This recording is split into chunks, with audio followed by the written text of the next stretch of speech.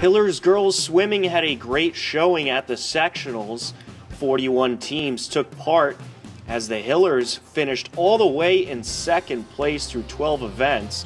They placed only one point behind Duxbury, while upping third place finishing Norwell by 19 points. On Saturday, February 13th, the Hillers hockey team celebrated senior night before taking on the always tough Medway Mustangs, and the game was a thriller.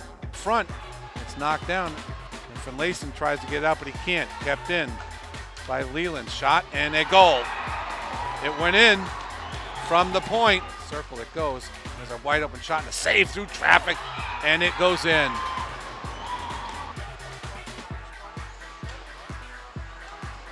Oh, there's a save on a wraparound. Boy, that thing came out kind of funny. Did he get a pad on that? He must have. I think it surprised everybody in the place, including the referees.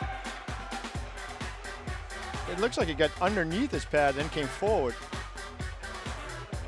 All right, we get ready for third period action with the Hillers leading, uh, trailing rather, 2 nothing. And Rick, it was a uh, no goal second period. And uh, after the first two goals were scored in the first period, now Volke, another one from the point, uh, from the circle, no good. But Allen comes down, pitches in front, tipped and trying, to goes in. I think Karpinski got it, and the Hillers trail two to one. Up ice, he's defended by two players. Tries to go to the point. Pickens takes a shot. It's blocked in front. It goes in. It was tipped in, and the Hillers have tied it. Yeah, Pickens just took the puck and moved his way to center. And that was actually a high shot that Purnell could actually see because we had a, a clean shot into it, Mike. And I don't I don't know who tipped it. I'm pretty sure it was tipped and came down below Purnell. Defend a bouncing puck. Abbott now chops it down, but it goes behind the net. Rolf now with some speed takes his man shot and a goal. With 57 seconds to go in the game, Medway scores and they take a 3 to 2 lead. The Mustangs handed the Hillers their third loss of the season. Hillers would take down Milford in the following game 8 to nothing to improve to 15 and 3 on the season. Hillers boys basketball has been fighting hard to stay in postseason contention.